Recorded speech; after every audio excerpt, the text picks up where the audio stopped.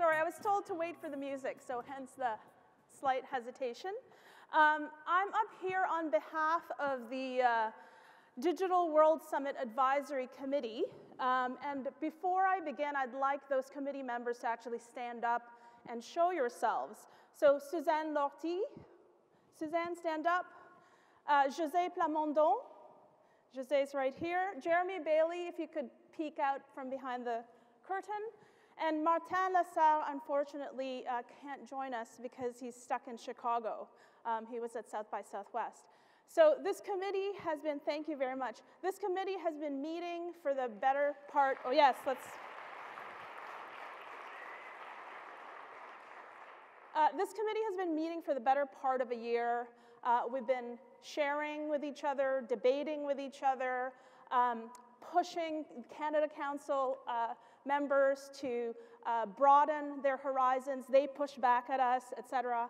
And it's been a really wonderful um, set of uh, conversations that we've had in helping shepherd and bring this um, entire uh, fund uh, to, to its you know, reality today, as well as to help with the summit.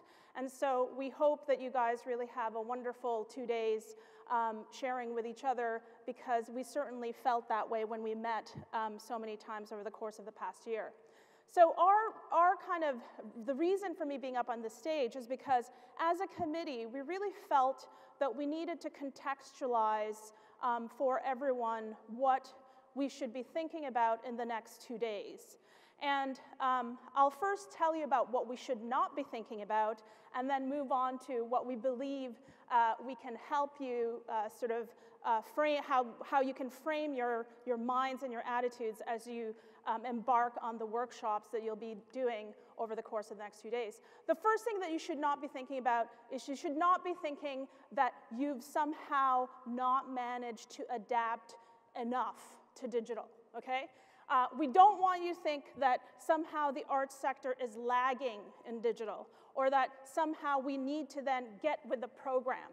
Because in fact, we believe that the arts sector has a leadership role in actually figuring out what this next stage of this technological revolution is going to be.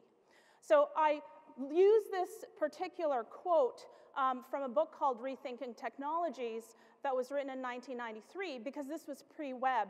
And at that time, a lot of the academics, a lot of the practitioners, a lot of the theoreticians were looking at how to rethink about technologies and ensure that technologies get rechanneled to become uh, a productive mode and uh, towards collective becoming. And I think we're now at the same sort of juncture in 2017 as we start to really figure out what this next wave of technological evolution is going to be. And I think our role as the arts sector is critical to ensure that the new sets of technologies are done in such a way that they become productive modes for collective becoming. And collectivism presupposes that everyone has an equal voice on the table, and we think that the arts sector has an equal voice at that table. Woohoo! And so, what we're going to talk about very, very quickly is the seven transformations to get us future ready to take our seat at that table. Okay? So, I want you guys to be really pumped for this. The first one is we got talked a lot at us about the attention economy and how, you know, the scarcity factor that we have in the world today is attention. Um, attention is scarce, therefore, you know, Simon talked about this with the, the, the, you know, the, the stuff he talked about with fake news, the fact that clicks and likes and things like that are driving this, um, this uh, demand for attention that's so scarce for all sorts of publisher and content uh, creators um, uh, uh have. So we, we, we then fall into this habit of then fighting for attention, of being, being uh, driven to create new types of processes, frameworks, products to vie for attention because that's what's so scarce. Well, we know, given what's happened in the past little while, that in fact, that attention economy is short lived and that we're actually moving into an intention economy, okay? And this is a phrase uh, that was um, sort of uh, created by Doc Searls, who wrote a book in 2012 called The Intention Economy. And the, the kind of uh, theory that he had was as consumers, actually armed with technologies, become more adept at understanding what their needs are, they will be driving the bus in many ways, and that they're going to drive what it is that they want from the products that they need, and from the companies that they, whose products they need, and from the cultural organizations whose experiences they need, and that they're the drivers of this bus. So this intention economy is largely going to be facilitated by things like AI, by machine learning, by algorithms, by all these things that we now hear a lot about.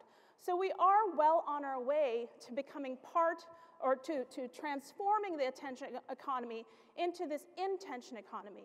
But what doesn't often get said, and this is something that's critical in Doc Searls' book, is that it also implies that the consumer owns the, the data in order to be able to drive that bus. And right now, there's a tension between who owns that data, corporations mainly, and how that data gets used. So if we want to move into this intention economy where our audiences have a understand what it is that they want from us, and we are you know, willing to engage in a conversation with them about what to bring them, then they also need to have some ability to manage their personal data that they have online.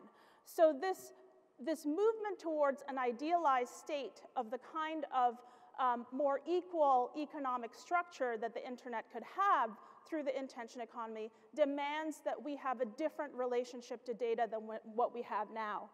And so what we're really thinking, talking about is moving from this notion of big data as being something that is um, sort of owned solely by monopolistic corporate structures um, to something that is being driven by need. So as a sector, we need to understand what our relationship is to big data and understand that what we really are thinking about is what our relationship is to big synthesis, okay?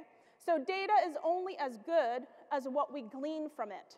So insights become much more important than the data itself. Um, what we, how we contextualize data, the kinds of questions we ask to, uh, to, to aggregate that data, um, the types of biases that we might put into the system as we collect data, all of these things are driven by, the, by what we're trying to synthesize. So what we're trying to collect, why we're trying to actually aggregate this data, and the need that we have for it. So again, I think as the arts sector, we need to start to understand that although we need to play a role in how um, the digital economy has uh, sort of evolved, and we need to understand how it works. We also need, as Simone says, to go back to first principles and really go back to the why. Why do we need this stuff? What are we doing with it? How are we using it? How are we collecting it? Who is it for? And how do we actually glean the right types of insights that we need in order to um, create a more either equal relationship with our audiences, a more um, equal society. So from big data, we go to big synthesis. So I think that's a big transformation that's going to start to happen over the next little while too in terms of the technologies that are being developed. Um, part and parcel of this whole big data talk is obviously algorithms, okay? So understanding how they work, understanding what drives them, understanding um, the technologies that are implicit in, um, in what's, you know, uh, how, how, contextual, con contextual engines are being made, et cetera, is something that we're all going to need to uh, sort out in our heads. However, I don't think that, um, I don't think that fully grasping what are algorithms is ever going to be uh, fully necessary unless we understand that at the heart of this whole thing is that we don't actually want algorithms to drive everything about what it means to be human. So, as Yuval Noah Harari says, um, as long as you have greater insight and self knowledge than the algorithms, your choices will be still superior and you will keep at least some authority in your hands. If the algorithms nevertheless seem poised to take over, it is mainly because most human beings hardly know themselves at all. So this, this, this attempt for all of us to essentially automate everything that we're doing, to gather data about our preferences, and then to essentially predict what our needs are, um, is where technology is going into the future. But I think as the arts sector, we need to understand that the study of consciousness, of what, what makes us different and what provides greater insight and self-knowledge to us, will always trump that particular um, techno-deterministic push towards uh, uh, predicting what the human being is all about, okay? So uh, the key point around that transformation is that although algorithms are becoming a key part of the technological revolution in this next few phases, I think it's important to still understand that consciousness and understanding what consciousness is all about is going to be part and parcel of what we have to keep putting back on the table when we're at that table collectively figuring out what this next new sets of technology evolution will be about. Um, another thing we're hearing is virtual reality. So for virtual reality, I think it's important that what we really need to understand about it is that we need to fully understand the hidden reality that virtual reality could bring.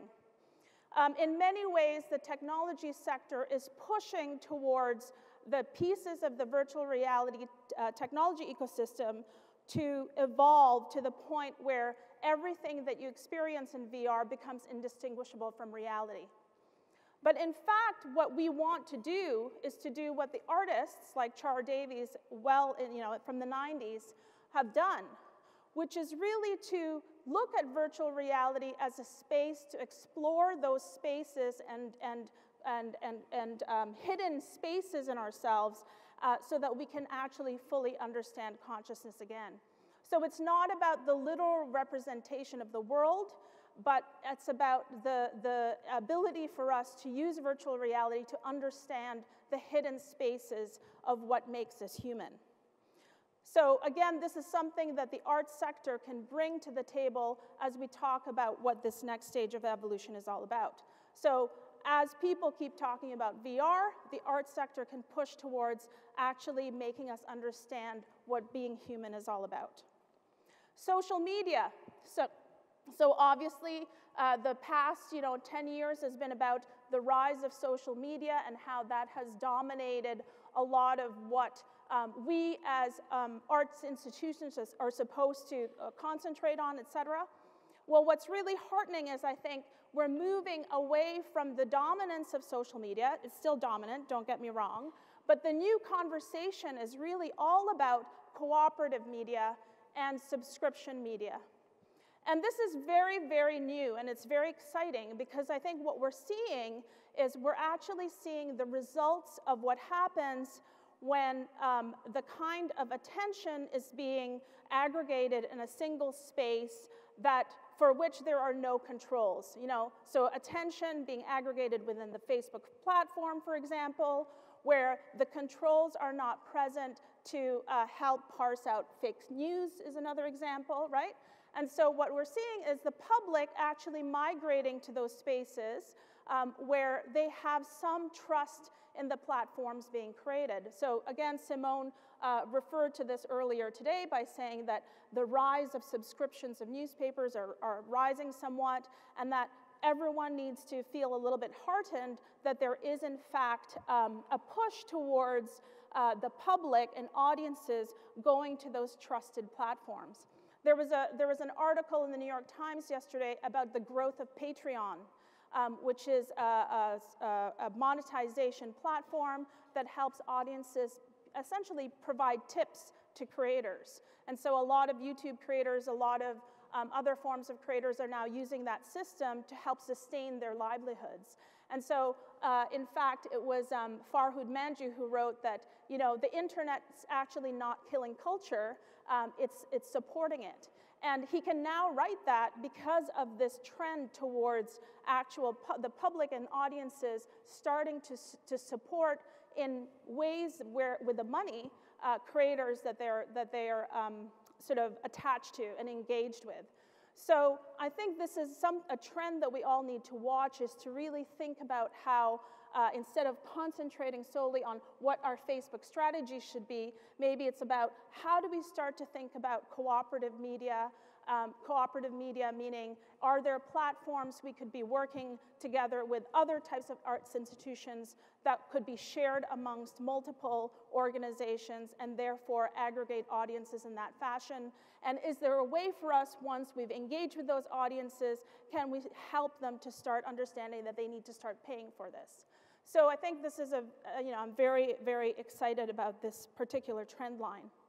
Um, the other thing that we've noticed, you know, that we've often talked about um, uh, in terms of the evolution of digital media, especially in the 90s and the early 2000s, is the need to invest in infrastructure, right? So, and, and, and I'm not saying that the digital divide does not exist. There are still places and regions in Canada, for sure, that don't have the kind of internet connectivity that they should have. However, I think we've failed somewhat in not addressing um, a, more, a more and equally important infrastructure um, sort of uh, uh, place, which is the ethical framework surrounding um, how we actually relate to each other in this digital networked environment. So this, is, this goes beyond things like um, privacy rights or terms and conditions, um, but things that speak to the heart of what, actually of what is actually the monetization or the dominant monetization model of the internet today, which is really around um, what types of data should be collected, are they allowed to be collected, um, do we adhere to those types of practices, um, how transparent should we be in terms of engaging in those practices with our audiences, et cetera. So I think what we'll start to see as we um, move into uh, hopefully a more regulated framework, a more regulated environment for media, because it's becoming more and more ubiquitous and definitely becoming more impactful, um, news being one, et cetera, uh, that this conversation around what the ethical framework is is going to be a critical one.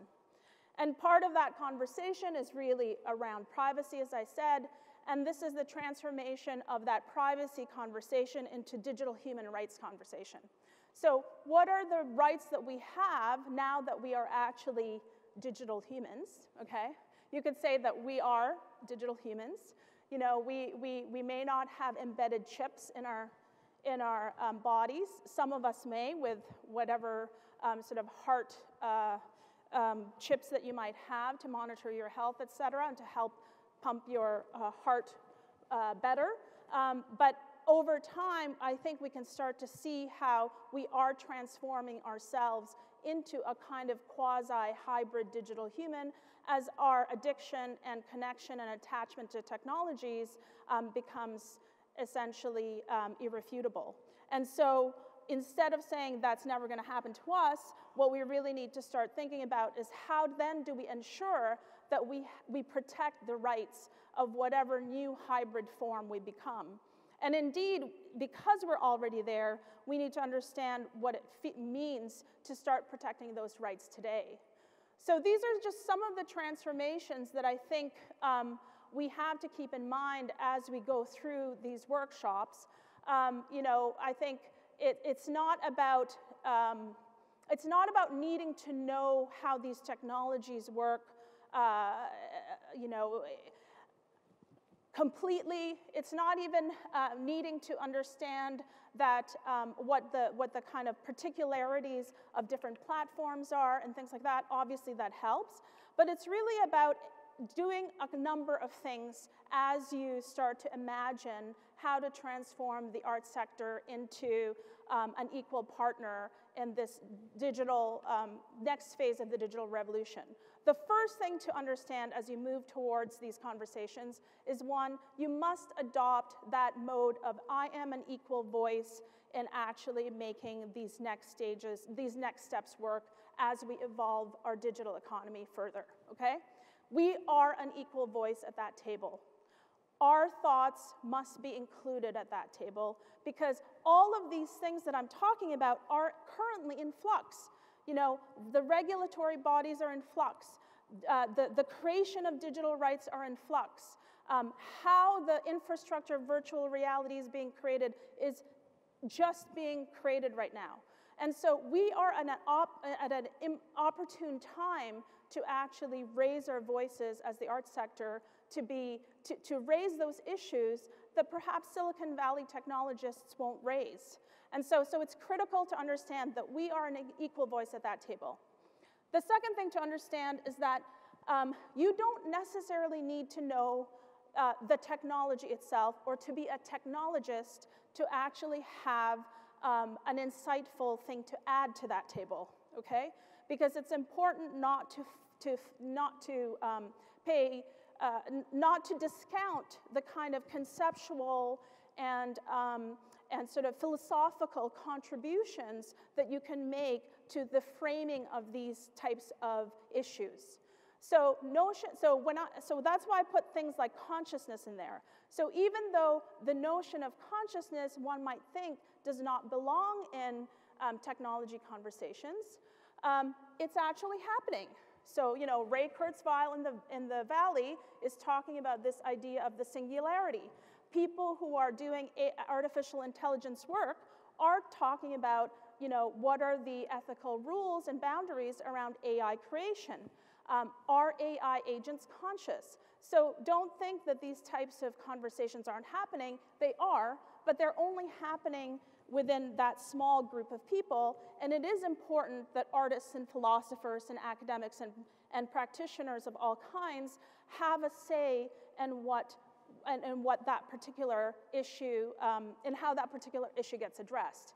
So, you know, you have an equal voice, philosophical, conceptual, and um, large scale kind of uh, um, insights are part of that conversation, and you have as much a, an ability to add to that as, as any other sector.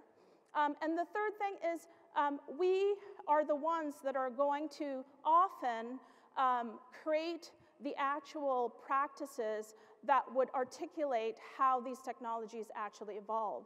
Um, so I didn't talk about that in this talk because the purpose of this fund is not about art practice, but we all know uh, that we support artists who work at rethinking these technologies and end up actually creating um, expressions of them that, that unpack these issues, right?